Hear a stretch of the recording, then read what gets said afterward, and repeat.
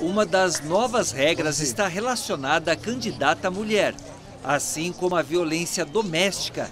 Na política, ela pode sofrer violência física, psicológica e moral. Essa inovação legislativa criou um novo tipo de violência de gênero, que é a violência política. E o que seria essa violência política?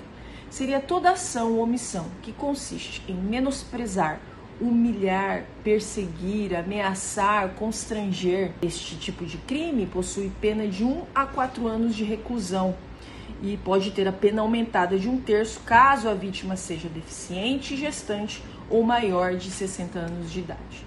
A importância e a relevância dessa lei vem coibir situações como a interrupção frequente de fala em ambientes políticos por candidatas mulheres, a desqualificação das habilidades dessas mulheres que ocupam cargo de poder eletivo e principalmente a desproporcionalidade no repasse do fundo partidário. Outra alteração é que o Tribunal Superior Eleitoral fez uma parceria com as oito maiores plataformas de rede social por exemplo, Facebook, Instagram e WhatsApp, para impedir a proliferação de notícias falsas, as conhecidas fake news. O WhatsApp ele vai limitar aquele disparo de mensagens em massa, para que essas fake news diminuam o tamanho de atuação deles.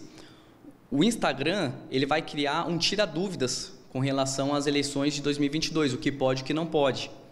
O Twitter ele vai chegar a, a casos extremos de banimento de contas de candidatos que insistirem em propagar essas informações falsas e vai fazer, inclusive, marcações nessas, nessas matérias. Outra novidade nestas eleições é que os partidos podem se unir em federações.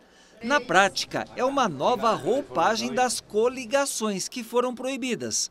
Nas coligações, partidos se uniam para que os candidatos tivessem mais chances mas quando acabava a eleição, cada um ia para o seu lado.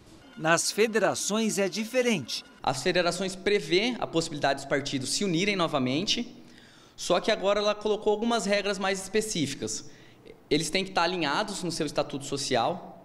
Esse alinhamento tem que vir da nacional, então vem em caráter federal, estadual para o municipal. Então essa federação ela vai valer para esses três âmbitos e o tempo mínimo dessa fusão, dessa união dos partidos, é de quatro anos. A OAB, Ordem dos Advogados do Brasil, afirma que vai acompanhar o respeito às novas regras. Estamos todos atentos e vigilantes com essas mudanças, estamos sempre estudando, nos reunindo, fazendo palestras, seminários, nos aprofundando no tema, e, e, e essa vai ser sempre a posição da OAB.